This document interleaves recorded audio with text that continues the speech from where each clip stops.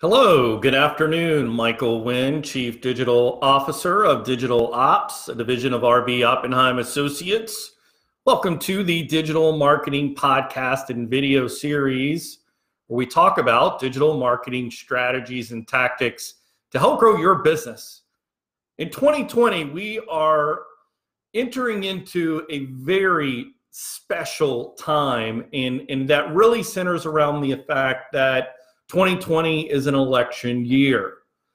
I did an episode, uh, or actually a, a three part series back in July of, of this past year in 2019. Uh, and the series was called The Social Web Effect of 2020, gleaning insight from the Facebook ads and activities of 2016, which really centered around the uh, Russian agency known as the um, uh, IRA um, and and the um, uh, that that acronym standing for uh, the widely known um, uh, name, which was the uh, gosh, what was that IRA? It's you know, gosh, on the tip of my tongue. Uh, Internet Relation Internet Research Agency. Thank you, IRA. So and in the whole series, and I'll put a link uh, in the blog to go back if you're curious about that. Uh, and it's really a deep dive into um, what the House Intelligence Committee reported um, through the um, Mueller findings with what Russia was involved with in uh, as far as social media activities, specifically related uh, to Facebook during this time period. And it is a fascinating read. But this post that I want to talk about today, today's episode is about target audience obsession, digital manipulation versus authentic social inspiration from Russia with love. Yes, I'm a big James Bond 007 fan uh, from Russia with Love. I couldn't decide if we were going to go with that or we were going to go uh, with the title of The Brand That Loves You.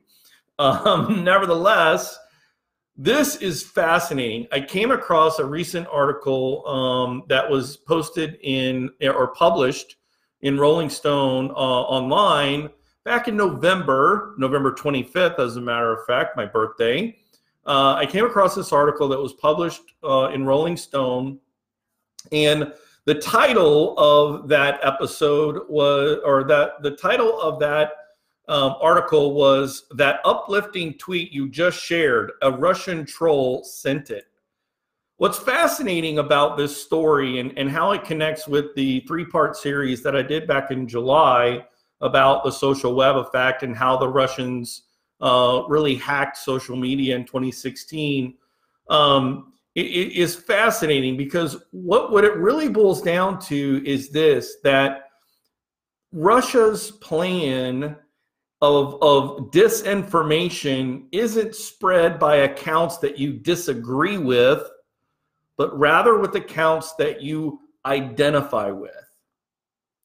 And that is something that is absolutely mind boggling when you think about it. I guess not really. I mean, you think about all the spy shows and you think about James Bond, you know, whenever a, a, a Russian spy was trying to, you know, get information from their mark, what did they do?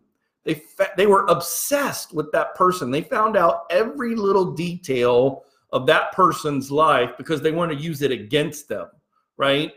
Well, what what's fascinating about this particular um, article, and it points out the tweet um, and the the account that was used, um, and, and I'm going to put a link to this Rolling Stone article as well, so you can go back and check it out. Um, and it was actually written by a couple of professors from Clemson, go ACC.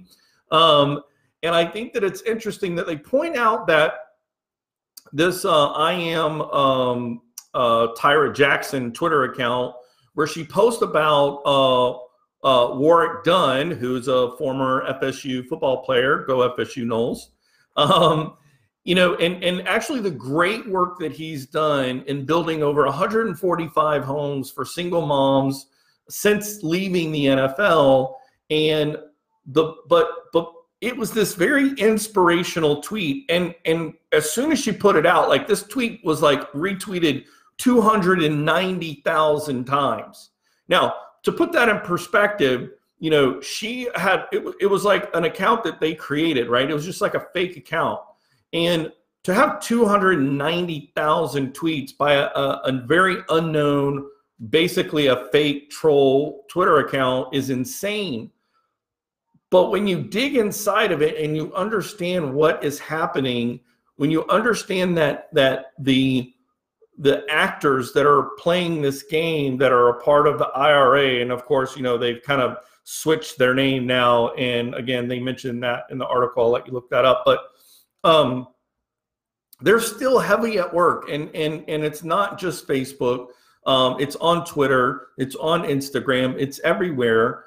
And what they're doing is, is, something that, as public relations and as marketing professionals, we often do a poor job at really going to the lengths that um, you know these these characters uh, from Russia really go into because they dig deep into the emotional issues that matter most to the ones that they want to reach, and they want to manipulate that those actions for the sole purpose. Get this, guys. They don't. They really don't care if you vote for Trump or Clinton or whatever. The point is creating a divide in the United States and in the citizens of the United States. That's what's most important. So has nothing to do with candidate, has nothing to do with, you know, the issue itself. It it's the intent, right? that that they're trying to go after. So again, you know, this this idea that, you know, understanding what's most important to people and then you know creating content around that that that that touches these emotional um, kindling points that drives people to action that you know gets them to do things. Now here's the crazy point is as the Rolling Stone article points out, you know, the article when they clicked on it was actually a Trojan device, you know, with with really horrible intentions. And this is something that as I think Americans we need to really get a hold of. But then also, uh, you know, from a from a marketing standpoint, I can't help myself but to kind of sit back and think they they are they are operating and and executing communication strategies at an expert level just phenomenal. And why can't we learn from them but flip the switch? You know why can't a brand or a company take a page literally out of the russian playbook? And this is kind of what my three part series talked about last summer. Why can't we take a page out of that book and and use it for good? You know why can't we give why can't we leverage this strategy and idea of really understanding who our target audience is. Can we com- become obsessed with our target audience not for the purpose of manipulating them but but to actually create authentic inspiration? Because here's the thing and and and, and this is the thing that's going to be so huge i think in 2020 for brands to understand is that when when your brand has the ability to raise its awareness level when you when you go from no one knows what your name is to all of a sudden you know people are talking about you and and you become quote an internet household name like if you can achieve that um, you you are positioning your company and brand to succeed, right? And if you're doing things the right way and you're taking care of your people and you're taking care of your customers, you know, all of that goodness will come to the top and you will inspire others, you know, to be to become a part of your family, to become a part of the the brand loyalist, right? So that when you are going through your growth phase and, and planning your growth phase for 2020, you know, you've got a plan. So, you know, again, I want to circle back to this, you know, thinking like a Russian spy, but with the intentions almost of like not to sound too altruistic but like Nelson Mandela to bring people together right? Like so we want to have the understanding and the obsession and the paying attention to the details. And paying attention to the details is means you know creating content that that connects emotionally with the people. And how do you know if you're doing that you know that you're doing that if you're producing content that's causing people to act and comment and share and like but you don't do that by talking at them right? You you do that with connecting with them on a, an emotional human level. And so i think that that is something that for you know public relations and marketing professionals in 2020 as we look to help other to help our clients grow and achieve their goals and objectives we need to have target audience obsession. We need to understand the the emotional triggers and what's important what is the most important thing? Like when when when, i think about target audience obsession again uh, everyone in our office is is binge watching the the netflix show you you the series you on netflix which of course is in its second season is absolutely just you know a a you can't stop watching the show because it's just you know a train wreck but um an incredible dramatic series. But it's all about you know these these characters that become obsessed with one another and obsessed with every movement and and everything that's of interest so that they can prove their love and and prove their loyalty right? To to earn that relationship you know to be able to call them you know mine right when can when when do brands get to the point where they can call their customers mine right? You have to earn that. You don't get that through manipulation right? I mean uh, i i think i think that we are you know at some level naive to manipulation but then on other on other fronts i think we are wise to it as well. So i, I you know i think there's uh, two sides to that one coin.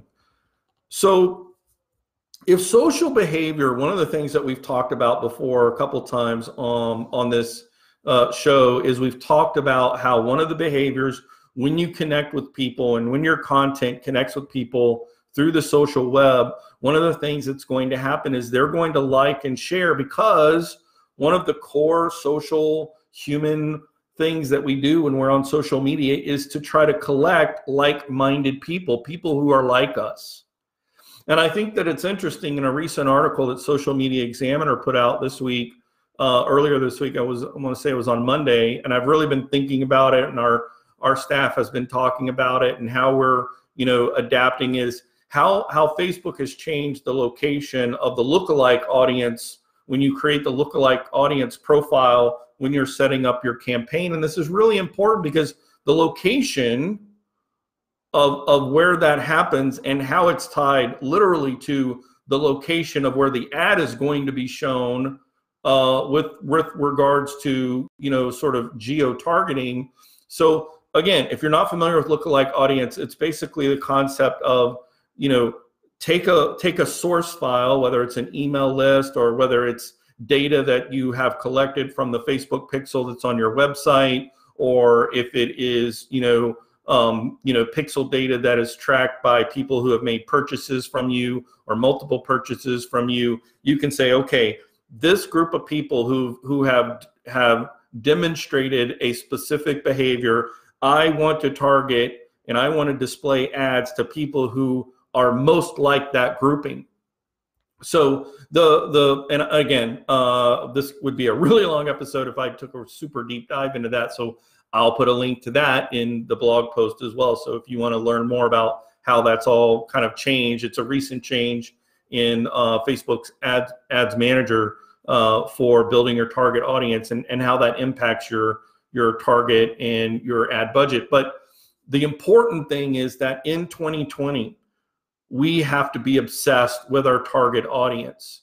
And we need to be able to document and publish content in such a way that we connect with those who are most important to us, whether that be our customers, whether it be you know the people who you know um, you know are are you know the members of our association or you know our, our prospects that we want to do you know business with in the future.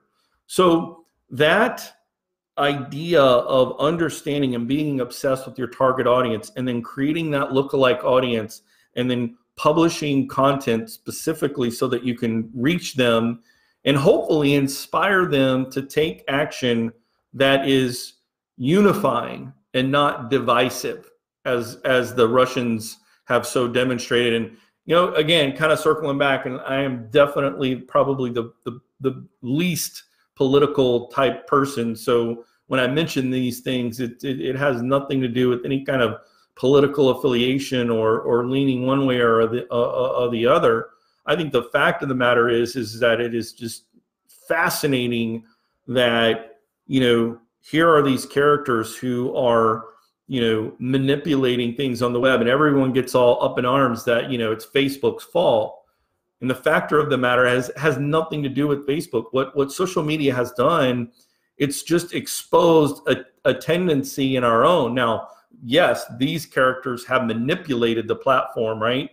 But guys grow up. We live in 2020 so it's not just facebook. You're seeing this on twitter. You're seeing it on you know Instagram. You're seeing it on on you know uh, just any platform where where the social web is active and people have the ability to consume content and share their emotions and connect with people who are like them and they're going to do that so when you're looking at your digital marketing content creative for 2020 and you're trying to kind of create that editorial content calendar if you haven't already begun to do that, I hope that this session, I hope that this episode will inspire you to really become obsessed with what is most important to your target audience. And understand that when I say target audience, that you have segmented, you know, areas of that audience group, right? Because different people decide to choose your brand, whether it's a product or a service. Um, based on their interest and their interests are different than their neighbor's interest and you need to become obsessed with each one of those segmented interests right you have to be you have to become obsessed with the audience group not with just the one profile guys thank you so much for tuning in. I hope you guys have had a great week. Again my name is michael wynn. I am the chief digital officer of digital ops a division of rb oppenheim associates. Have a great week, and we'll catch you next time.